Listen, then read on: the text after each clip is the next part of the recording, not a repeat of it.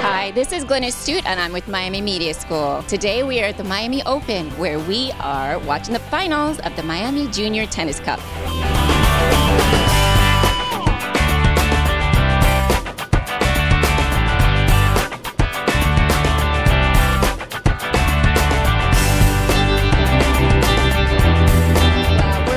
Excited to be here at the Miami Open, and this started three years ago to showcase our orange ball players and our green dot players. This is all a part of our youth progression pathway, getting kids to play tennis very young. Oh, you just won the tournament. How do you feel? I feel great. What's your next move? Resting.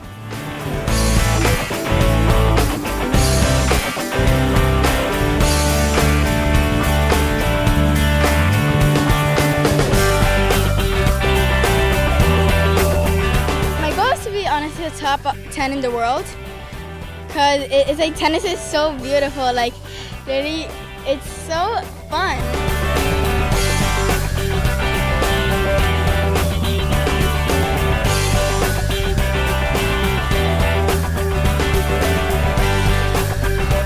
Really amazing. They're involved in our tennis program throughout the county, and this is an opportunity for them to uh, show their skills. I wish I would have had the opportunity to play out here in front of all these folks and get a chance to go into the stadium. They're getting a great opportunity. I hope they uh, represent our county well one day.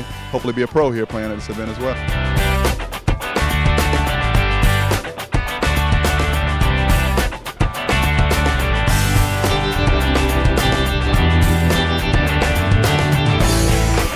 My parents, my coaches, um, and Gabriella, the girl I played against in the final. She plays really good. She was in my first academy. Um, she's improved so much, and I would love to thank every- everyone.